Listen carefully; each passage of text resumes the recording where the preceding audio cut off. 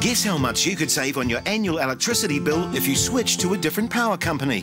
Mm, maybe a few dollars? 50 bucks. Not enough to bother, I reckon. 10 or $20 maybe? Nothing, mate. They're all the same. Well, hopefully not a lot. I just switched last week. Is there more than one power company? Ooh, heard of people saving up to $40. To find out how much you could save, go to whatsmynumber.org.nz.